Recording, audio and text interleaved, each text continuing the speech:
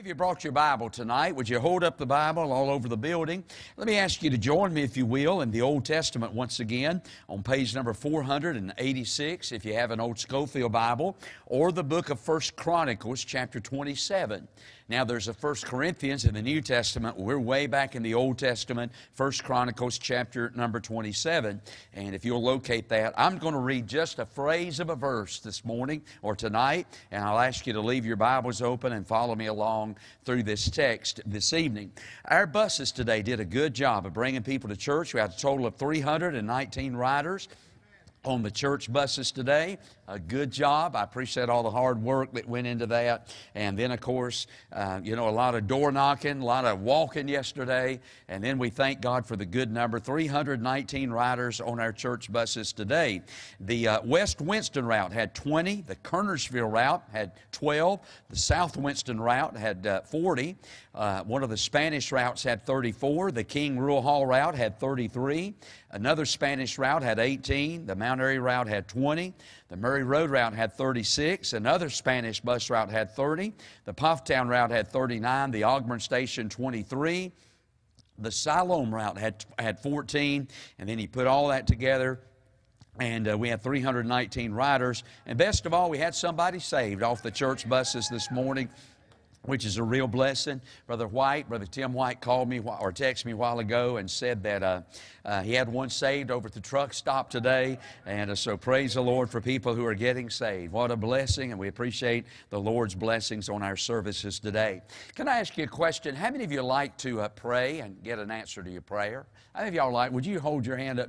I'm not tricking you. I mean, just don't be afraid. I saw some of you say, I don't know if I want to raise my hand here or not. But uh, I like to pray and get answers to my prayers. Don't you? I, I know, you know, God gives ultimate answers, but I like those immediate answers to my prayers. And I like it when you get up and man, you just pray and right there is the answer. Have you ever thought about, have you ever thought about being an answer to prayer? You ever thought about this? You ever just thought about, you know, I, I'm just going to be an answer to somebody's prayer.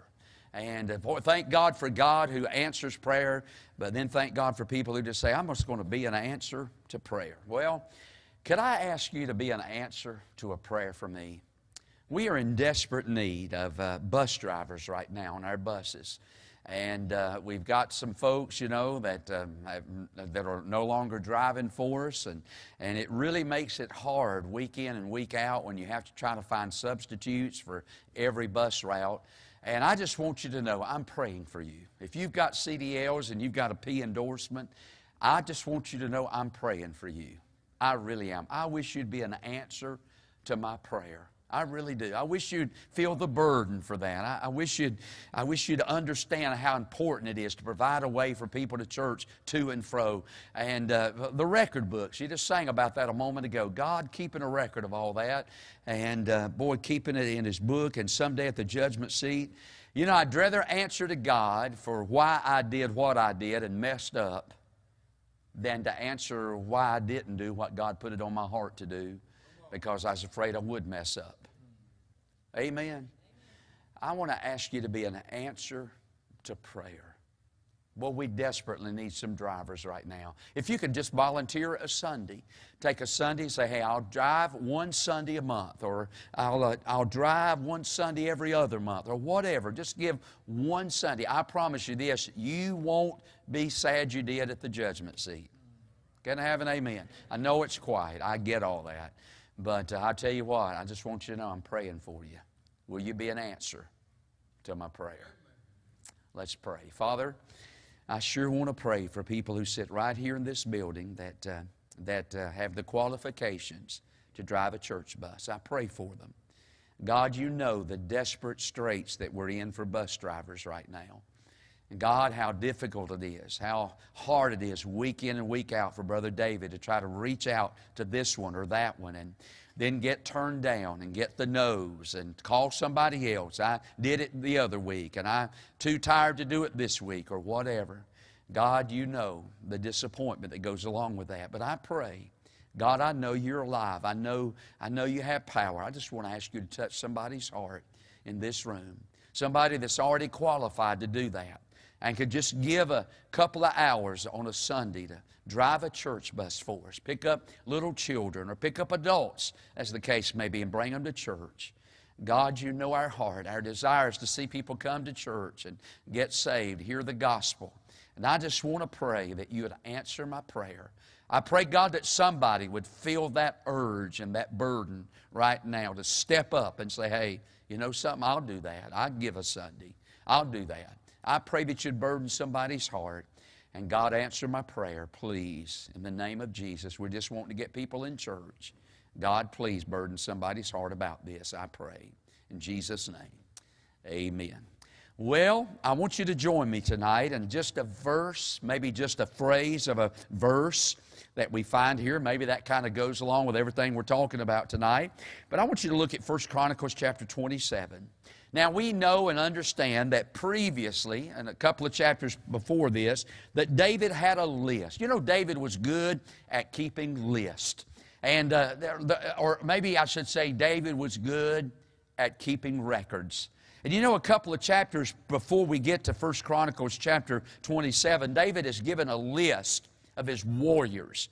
And we call them the mighty men of David. And he went through that list and he listed them. And if I counted them right, there were 39 of those mighty men. David called them, you know, mighty men, warriors that went out and fought against just insurmountable odds. And yet God blessed them and God gave great victories because they were warriors for the king. And David kept a list of his warriors. When we come to 1 Chronicles chapter 27, we don't find a list of warriors, but we find a list of workers. And you know, in reality, that's what God's people are. God's people are warriors. We're to fight the good fight of faith. We're to put on the whole armor of God. We're to fight the, uh, the battles in spiritual warfare. We're warriors, but we're not only warriors, but we're also workers. Can I have it? Amen. I hope I haven't ruined the service tonight by asking you to drive a church bus. I kind of feel a little tight right now. And I don't want to feel tight. I want to feel good. I want to feel at liberty. So I just want to tell you I love you, but I sure hope you'll be an answer to my prayer. Amen. Hey, be a warrior, be a worker for God. And uh, that's what this text is about tonight. David is now listing his workers that he has for himself. And I want you to look down as we look at this list in verse 25. And we have an old boy by the name of Azmaveth in verse 25. And then we come on down and we have, a, uh, we have a, an old boy by the name of Ezra in verse number 26. And following on down, we have uh, uh, the, the, Bible talks about a, a, boy by the name of Shimei, the Ramathite. And on down in here, there was old Zabdi in verse 27. And then we come to verse number 28. We got another old boy, uh, Baal Hanan, the Gederite that's mentioned there. But I want you to look at verse 28. The last last phrase says this, and over the cellars of oil. Now, when we look at the word cellars, we're not talking about selling things. You know, if you're not careful just reading that, if you're not looking at your Bible, you may just move right over that and think that this old boy sold oil, but he didn't sell oil. I'll tell you what he did, he managed oil. He looked after the oil. And the Bible said there, over the cellars of oil was an old boy by the name of Joash. And for just a little while tonight, I want to preach on this thought right here. I want to preach on cellar dwellers. Amen. Thank God for people who dwell in the cellars, who, who serve in out of the way, unnoticed, unappreciated places, such as sitting in the seat of a church bus on Sunday morning, or back here cooking a hot dog for a bunch of kids, or working in a, in a bus church back there on the other side of the building, or wiping noses, or maybe even worse, wiping other things in the nursery. Hey, but thank God for people who serve God in the cellars. They're cellar dwellers. And I want to tell you, our church could not operate without some cellar dwellers. Amen. I thank God, you know, there are some very prominent uh, positions in our church, kind of out front where everybody gets to see and everybody gets to hear and watch. I get all that, but I'll tell you what, this church is made up of a bunch of cellar dwellers. Amen. And thank God for people who serve in the cellars. I want to preach a little while on the, the Bible uh, calls his name Joash, who was over the cellars of oil. Now, as we move through this list tonight in First Chronicles chapter number 27, the one thing that we find is that there are some lists or some positions that David had in the kingdom that were very, very good positions. How uh, they were very notable. They were very kind of out front kind of positions. They, they were people who served in very lofty positions. But then as we continue to read this list, we also find out there were some people who served in some not so recognized places. They were not lofty positions, they were lowly positions. In fact, if you look in this chapter, and I've kind of highlighted them, but the Bible talks about uh, an old boy in verse 29 that was over the herds. Another uh, Bible talks about verse number 30 uh, about an old boy that was over the camels. Another uh, Bible, the Bible talks about verse 31 about another old boy who was over the flocks. And while there were some very lofty positions where everybody saw them, and man, it was just a very notable, very noteworthy position. You know, there were other people who had to work, work around the camels, and there were other people had to work around the flocks, and other people had to work around the herds. In fact, I noticed if you look back up in verse number 26, there was one old boy that worked in the in the kingdom, and all he did was just turn the soil over. He was a tiller of the soil. And I got to think, you know, in our church, there are those positions that, that people look at and, and they're and, and they and they're very lofty positions. I think about preaching, you know. I get to preach sermons most of the time when I come to church here, so I'm kind of out front, you know, and I'm, I'm kind of right here and you're looking this way, and, and I have one of those positions uh, that are that's probably pretty noticed in church. But you know something? Our church couldn't function without those people working in those not so noticed places. Thank God for some people in our church that till the ground. Thank God for some people in our church that work with the flocks. Thank God for people who are watching the camels. Thank God for people. If you look on down, verse 30 talks about the donkeys there. In verse 30, aren't you glad we got some folks in our church that's looking after the donkeys tonight? I'm talking about some very lowly positions. But here's the thing about it the king had placed each one of those people in that position, and they were there to honor the king. Some of the glamorous positions, and then some of the gory positions. I don't know what God's placed you in tonight, but I do know this. I want have faithfully tonight discard, discharge my duties wherever it is the king has me. I want to do my best to serve him in in that position. Because I promise you this when we stand before God at the judgment seat, it's not going to matter whether you're in the nursery or in the choir. What's going to matter most that you were faithful to serve in the place that God had put you in. And right in the middle of this text tonight, we read about this old boy by the name of Joash. I can sum his whole life up in just one sentence, and that's this He faithfully served his king in an undesirable undesirable, out of the way kind of place with little or no recognition. Boy, thank God for people who serve in our church whose names are never called from the pulpit. Thank God for people who show up service after service. They never get a shout out from the pulpit. I mean, their name's not ever put in the church bulletin, but they're there. You can just count on them. They're in their place. Hey, they don't care about recognition. They don't care about being noticed. All they want to do is serve God in that out of the way place. Thank God for people like old Joash. And the Bible said Joash was over the cellars of the oil. Now, I want to talk a little bit about this cellar dweller by the name of Joash. First of all, I want to talk a little bit, number one, about the duties, the duties of his job. Now, we're told there in verse number 28 that he was simply over the cellars of the oil. He was assigned to keep the oil. He was assigned to watch the oil. He was assigned to guard the oil. He was assigned to manage the oil. Now, I know you're sitting there thinking, Preacher, big deal. What's a big deal about having to watch out over oil? What's a big deal with oil anyway? What's so important about oil? Well, you got to understand, in our day, it isn't very important.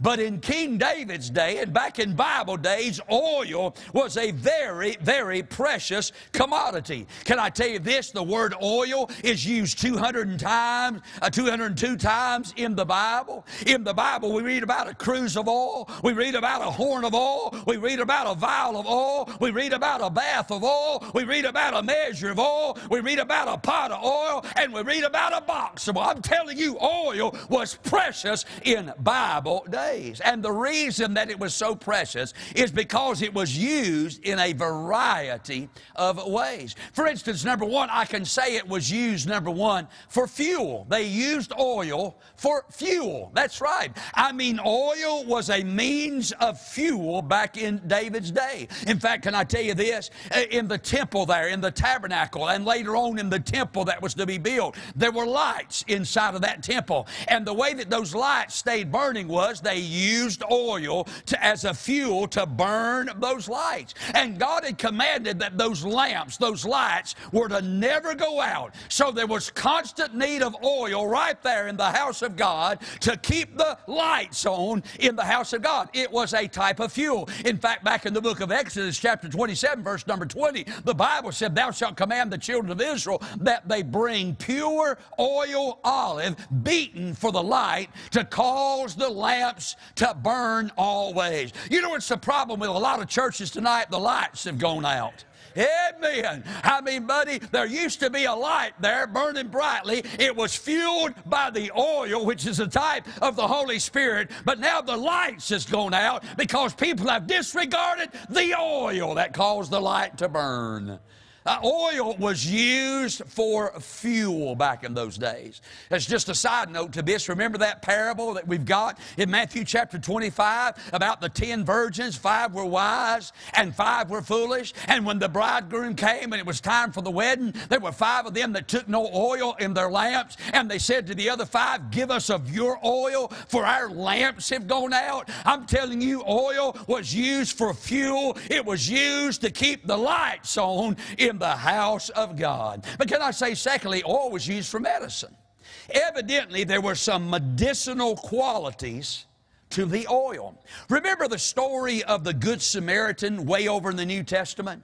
That boy left Jerusalem, heading down to Jericho, and he fell among thieves. They beat him up, threw him over in the ditch, left him for dead, robbed him, took everything he had, threw him over there, and left him for dead. And the vultures were already circling over his head. And the Bible said that a priest came by, heard the moans and the groans, and passed by on the other side. And the Bible said that a Levite came by, heard the moans and the groans, and passed by on the other side. Can I just stop and say, you know what's wrong with the average church member of our day? They just want to pass by on the other side. You know why we have to beg people to, to drive a church bus? I'll tell you why. They're more interested in passing by on the other side than they are getting in the ditch and getting involved in people's lives and trying to help folks out of the ditch of sin.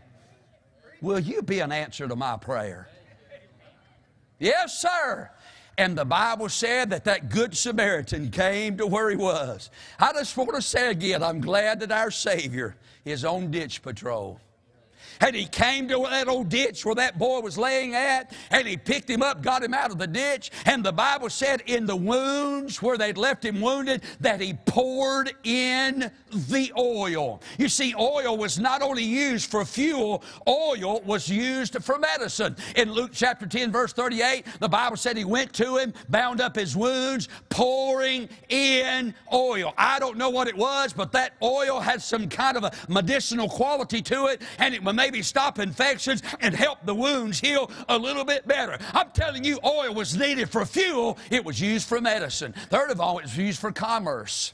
Can I tell you something? In the Old Testament, in 1 Kings chapter number 5, Solomon is right in the middle of building the temple, but he needs some cedar wood to construct the house of God. And we read this in 1 Kings chapter 5 and verse number 10. So Hiram gave Solomon cedar trees and fir trees according to all his desire. And then if you look at verse 11, we read this. And Solomon gave Hiram 20,000 measures of wheat for food to household and 20 measures of pure oil. Thus gave Solomon to Hiram year by year. You know what they did? They took that oil, and if one country had a need of something, they would give the oil for a, for a product that they needed. Much like in America, we're about out of everything in America. I read this, I didn't read this, but I watched the news this morning before I come to church. And did you know right now there is a shortage on air conditioning units in America?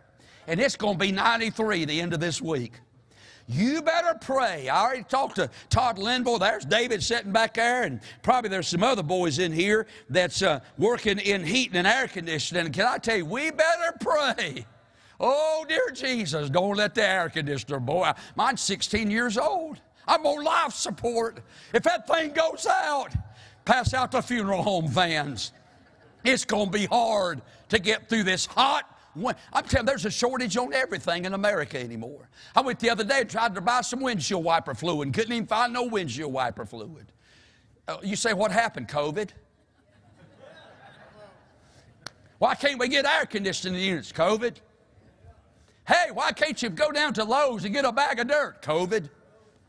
I'm just telling you, friend, we're in bad shape. But in Bible days, if one country needed something, they would trade the oil for what they needed. It was used for commerce. Can I say, number four, that the oil was used for worship? Can I tell you this? Every sacrifice in the Old Testament had to be anointed with oil. Can I tell you this? Every utensil that was used in the Old Testament tabernacle, all of the uh, furniture that was in the Old Testament tabernacle, the altar itself in the Old Testament tabernacle, and everything that went into that building was anointed with oil. Even the priests that ministered in the tabernacle had to be anointed with oil. It was used for fuel, and it was used for medicine, and it was used for commerce, and it was used for worship, and it was even used for political reasons.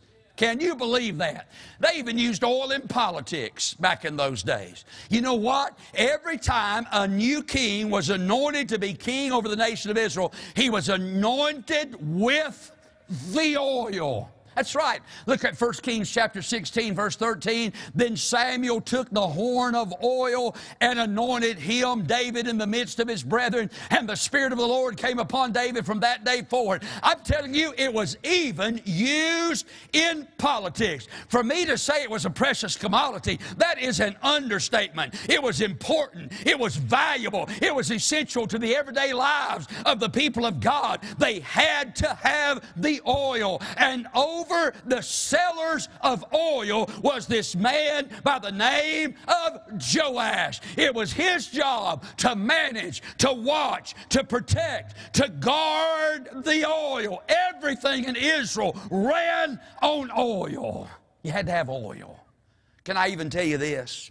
In the cleansing of the leper in Leviticus 14, when, I, when an old leper had contracted leprosy, and then, by a miraculous divine miracle, he was healed of his leprosy. When he was brought before the priest for the priest to examine him, to pronounce him clean, this is something how the ritual went. It went something like this. When he was pronounced clean, they got two birds. They took one bird and they killed that bird under running water. And they took the blood of that bird, that turtle dove or whatever it was, and they took that blood and they he put some of it on his thumb and he, on his hand and he put the thumb of that leprosy, or that leper. He put some blood on his right thumb. He put some blood on the tip of his right ear, and he put some blood on the toe of his right foot. Now, I'll tell you something. You say, Preacher, that's crazy. It might be to us, but it took the blood to wash the sin of leprosy away. Amen. Hey, there's no cleansing without the blood. Everything that's cleansed in the sight of God has to be put under the blood. But it wasn't enough just to do that. Because after that priest put the, his thumb and his ear and his toe in that blood, then he went back and he poured some oil in his hand. And he went back to where he'd put the blood and he took his finger and he put some oil on that blood. And he put some oil on that thumb. And he put some oil on that great toe because oil is a type of the Holy Ghost. And let me tell you something you may be washed in the blood, but listen, if you're going to hear God, if you're going to work for God, if you're going to walk with God. You got to have the power of the Holy Ghost upon you to live for God effectively. Thank God for the blood, but thank God for the oil of the Holy Spirit to empower us to live for God. I'm talking about the duties, and over all that oil was a no name by the name of Joash. The duties of Joash. Then I got to thinking about this not only the duties of old Joash, but I thought about the disadvantages of Joash. Now, when I say disadvantages, if you look back at verse number 28, the Bible said that he worked in the cellars of the oil. Now, when I think about a cellar, I think of what we would call a basement. Is that kind of where y'all are at with this as well? When I think about a cellar, I think about a basement. And when I think about a basement, I think about a dark, damp, uh, I think about a, a dark and, and a damp and a dirty and a dingy place. That's what I think of. When I think about a basement, when I think about a cellar, that's what I think about. And the Bible tells us that Joash worked day in and he worked day out in a dark, in a dirty, in a damp, in a, in a dusty, in a musty smelling cellar. a cellar. And that's where Joab, that's where Joash, that's where, where he worked at. That was the conditions in which he worked and he labored. Can I just say that it was an unnoticed job? Can I say that what Joash did over that oil, for the most part, went unnoticed by the average people of his day? Nobody knew who Joash was. Furthermore, nobody even cared who Joash was. I mean, as far as they're concerned, that's the guy that works underground. That's the guy that's always by himself. That's the guy that mumbles to himself all the time because he ain't got nobody else to talk to. I mean, nobody cared who he was. His job was an unnoticed job. Number two, can I say it was an uncomfortable job? You know what? I think he smelled like where he worked at. Have you ever worked in a restaurant before? If you've worked in a restaurant, you smell like that restaurant. If you've ever worked around deep fryers, and God knows I love French fries with all my heart, but if you've ever went to a restaurant, you can smell the grease in the air. The best way to tell if a restaurant's good or not is if when you sit down in the seat, you stick to it. If you stick to it, that's a good place to eat. If you don't stick to it, it probably ain't going to be no good. If you don't smell the, the, the, if you don't smell the grease of cooking when you walk in, it probably ain't going to be a good place. And Joash, no doubt, smelled like the cellar that he worked in. That darkness, that dinginess. I mean, that dirtiness. And by the way, he probably had to work with a bunch of roaches. He probably had to work with a bunch of snakes. He probably had to run, work with a bunch of rats. He probably had to work with a bunch of cooties. I mean, man, this boy worked in an uncomfortable place. He never knew if it was raining or sunshine because every day looked the same because he is in the cellar. The first job, full time job that I got out of high school. Back in those days in Mount Airy, the textile industry was big. Now it's tourism industry. God help us. We've replaced tobacco fields with wine vineyards in, in, in, in Surry County. God have mercy on us. You say, well, preacher, we don't need neither. I agree with you, we don't. But I, I've never seen an old boy smoking a cigarette run across a yellow line and wipe a family out because he's drunk with alcohol. And we've traded textiles for tourism. And the first job that I had as a, as a graduated high school senior, I went to work at Pine State Knitting Mill, of all places. And my job was to carry work from one station to the next station. And I worked, everybody that worked in there was a woman.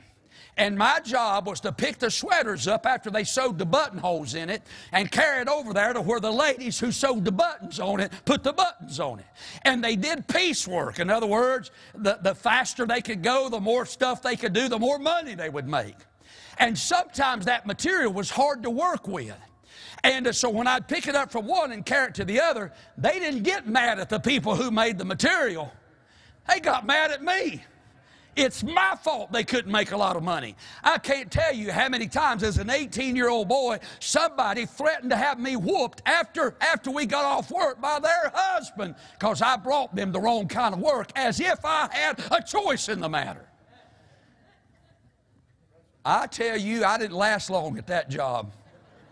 I didn't last. You know what? It was so dark and gray in there, you couldn't tell if the sun was shining on the out. There were no windows in that place. You couldn't tell if it was sunny or raining or snowing or whatever it was doing on the outside because every day looked the same inside a Pine State knitwear.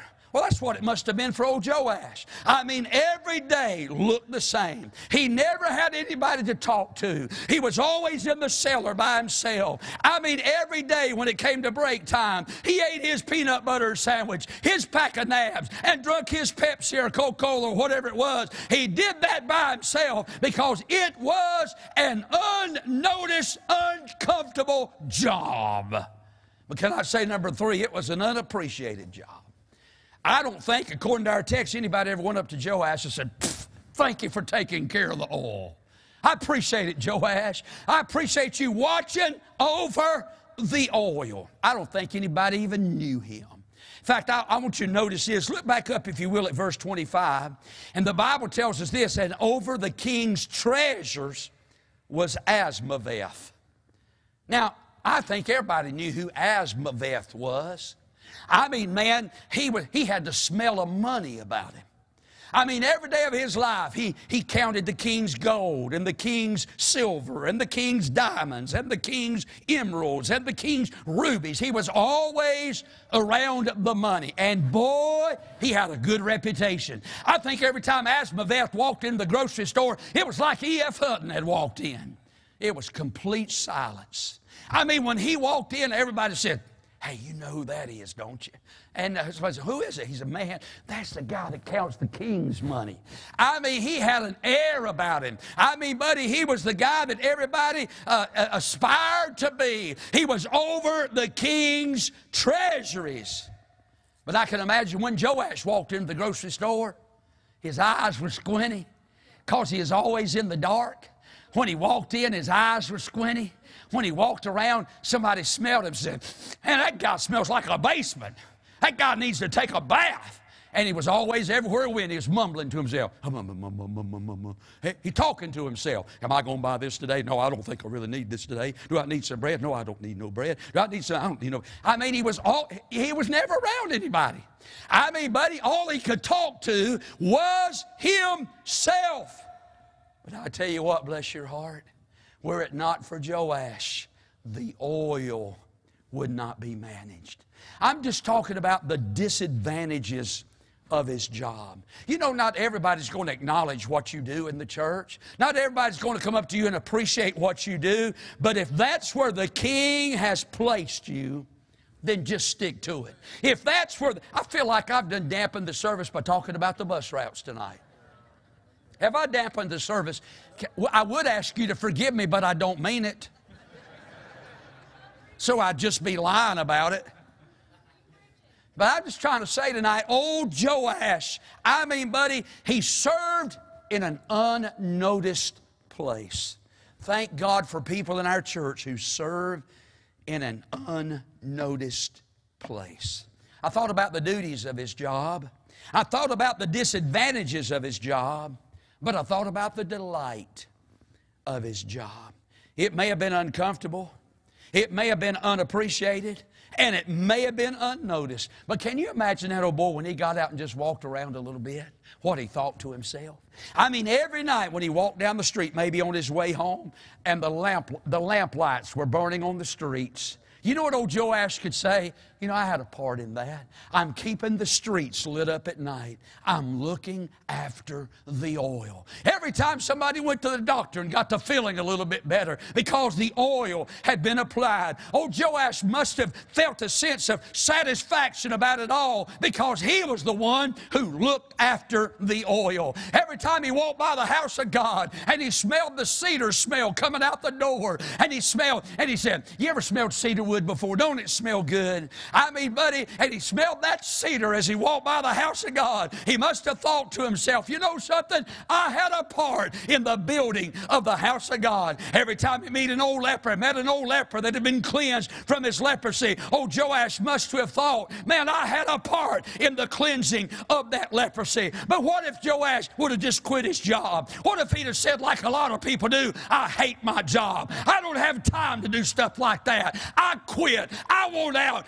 I'm done. Think about what would have happened in the land of Israel had there not been a Joash who looked after the oil in an uncomfortable, unrecognized, unnoticed position. But thank God for people who stay faithful to the position that God has given them. He may not have got enough, a lot of recognition down here, but can I say this? But there's a record book. My name was written in. Da da da da da. There's a record book up there. And can I just close by telling you this? God thought so much of it.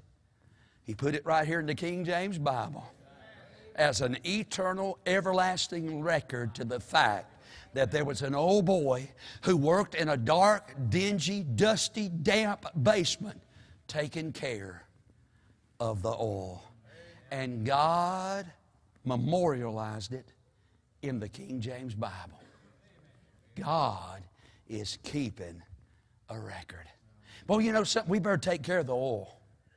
If I said a moment ago, and it is true that oil is a type of the Holy Spirit, somebody needs to watch oil.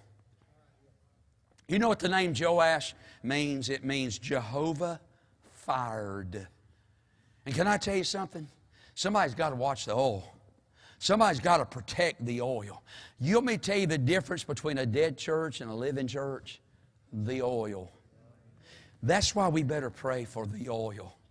That's why somebody better protect the oil, manage the oil, watch over the oil, be responsible for the oil. Because if anything at this church is ever going to be done that has eternity stamped with it, stamped on it, it'll be done by the presence and the power of the Holy Spirit. Over the cellars of the oil was Joash. He was a cellar dweller. And thank God for cellar dwellers.